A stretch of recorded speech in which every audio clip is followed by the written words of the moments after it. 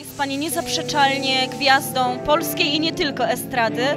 I właściwie nie chodzi tylko o Pani głos, który niewątpliwie jest niesamowity, czy też o barwę głosu, ale przed- przede wszystkim o to, że Pani z łatwością potrafi wzruszyć człowieka i rozbudzić w nim takie piękne emocje, e, które, które właściwie często w sobie zaniedbujemy. Proszę nam powiedzieć, co nadaje kierunek Pani twórczości? To bardzo miłe, przede wszystkim bardzo dziękuję. Prawdę, właśnie prawdę. Trzeba ludziom dawać prawdę. Siebie po prostu. Pani Beato, a czego Pani słucha w, w wolnych chwilach? Jakiej muzyki? Ja, Bo- ostatnio, ja ostatnio słuchałam cały czas swojej płyty nowej, która ukaże się 16 września, kochani. I muszę powiedzieć, że zachęcam Was. Jest naprawdę piękna. Kolejne moje marzenie artystyczne się spełniło i zachęcam Was. Od początku do końca pracowałam wspólnie z Marcinem Limkiem, moim producentem e, muzycznym i, mm, i, i myślę, że nam się udało. Że y, nastąpiła taka chemia artystyczna między nami i urodziłam kolejne dziecko w postaci płyty. Piękne teksty, mądre, ale też żebyście nie traktowali tych tekstów bardzo em, jakby adaptując do mojego życia, prawda? Ja po prostu bardzo dużo rozmów spędziłam z, z kobietami, które nagle strasznie chciały mi e, e, opowiadać o swoim życiu. I Gdzieś to się przełożyło na tę twórczość. Dokładnie tak. Poza tym jest to taka trochę babska płyta, bo kilka kompozycji napisała y, Ania Dąbrowska na tę płytę moją, więc kobieta, która też po przejściach niedawnych była. I no przede wszystkim praca z Marcinem, z moim producentem. Co, codziennie prawie przyjeżdżałam do Radomia, żeby uczestniczyć y, w tych nagraniach, żeby tym być, żeby dawać tą energię pozytywną dla Was wszystkich. Nie tylko pięknie zaśpiewać, ale przede wszystkim y, wyrazić te emocje, które we mnie były przez jakiś czas.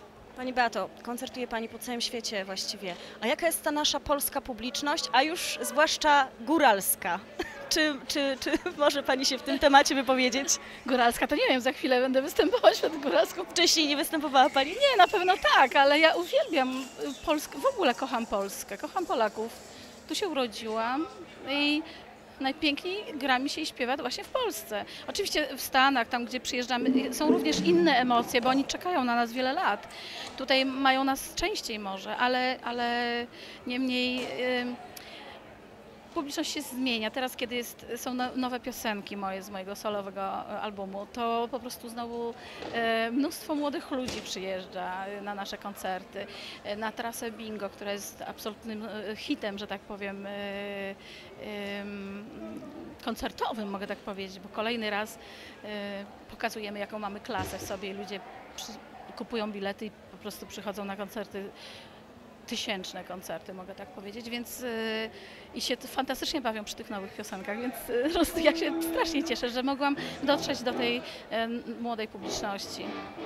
Pani Beato, wczoraj przeprowadziliśmy taką sondę uliczną i okazało się, że właściwie większość ludzi przybędzie tutaj na tę na tę dzisiejszą imprezę ze względu na Panią, na Pani koncert, żeby Panią zobaczyć i usłyszeć. Czy mogłaby Pani zatem pozdrowić wszystkich fanów e, gminy Węgierska Górka i z okolic, którzy na pewno się bardzo z tego powodu ucieszą?